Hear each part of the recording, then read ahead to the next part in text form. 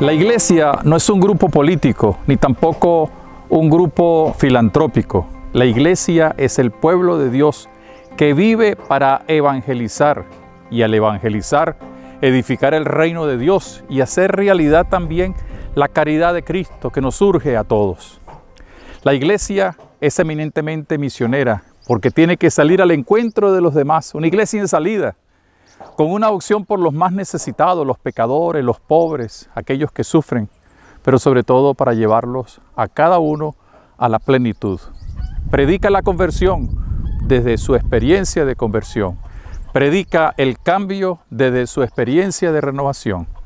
La iglesia vive porque anuncia el Evangelio y vive para eso, para anunciar el Evangelio de santidad que nos ha dejado Jesucristo el Señor ama, conoce y siente el sentido de pertenencia a tu iglesia.